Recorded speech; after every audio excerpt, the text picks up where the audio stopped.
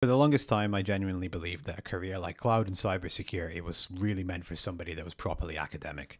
I did really badly in school. Uh, fast forward 10 years, and cloud and cybersecurity has completely changed my life. However, I do understand that I'm a visual learner. It takes longer for concepts to go into my brain and make sense than probably the average person, and I don't mind admitting that.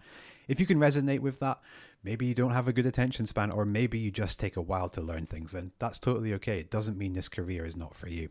However, that was the whole ethos behind Tech 120. I spent the better part of a year putting together this ebook that contains cloud and cybersecurity projects with additional information, roadmaps, career guides, certs that you could do at home over the space of a weekend.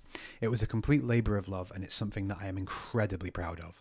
I'm thinking about making a hard copy soon, but if you have bought a digital copy, I just want to say thank you. If not, the link is in my bio and it's currently on sale.